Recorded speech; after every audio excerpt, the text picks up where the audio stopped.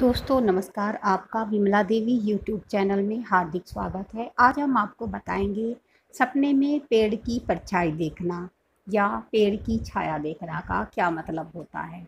दोस्तों, यदि आप अपने सपने में ऐसे देखते हैं कि आप किसी जंगल से गुजर रहे हैं और आप वहाँ पे पेड़ों की छाया देख रहे हैं या ये देखते हैं कि आप पानी में पेड़ की छाया आप देख रहे हैं और वहाँ पे आप बैठे हुए हैं या घूम रहे हैं, ऐसे स्वप्न आप देखते हैं तो उसका क्या मतलब होता है?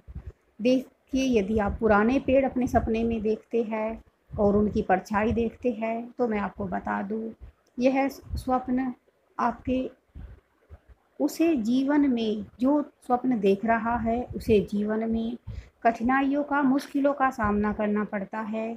उसके कार्य जो है, वो देर से पूरे होते हैं या ये कहिए उसके कार्य पूर्ण पूरे होने में मुश्किलें आती हैं, अड़चने आते हैं, समय लगता है पूरे होने में।